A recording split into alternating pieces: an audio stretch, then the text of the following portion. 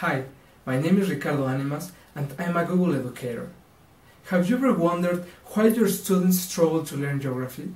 The answer is roughly simple. Because geography refers to spaces and territories that are completely foreign to them, or so they seem at first. Flip the classroom creating and sharing your own maps in Google Maps and turn those rare places into living spaces. I'm going to show you how it works. For example, let's integrate geography to Latin American art. Imagine that you already chose three surrealist painters of the 20th century who developed their work in Mexico City and you are going to divide your class into three teams.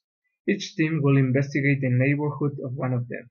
Then the team will access Google Maps, going to maps.google.com and create a map with the name of the painter.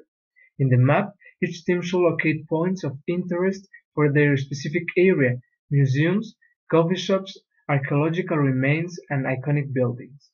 Google Maps allows the students to add their own markers, name them, and change their colors. They also can draw layers that frame the places for better visual organization, measure distances and areas, and add directions, even images and videos. The map is stored in the owner's and editor's Google accounts, so by signing in they can make changes, share it, and also embed it in the site or blog of your class.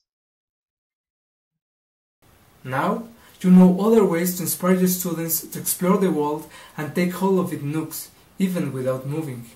Perambulate together the most exciting sights and make them yours. So, it will be easier, funner, and more profitable understanding home. Thanks for watching.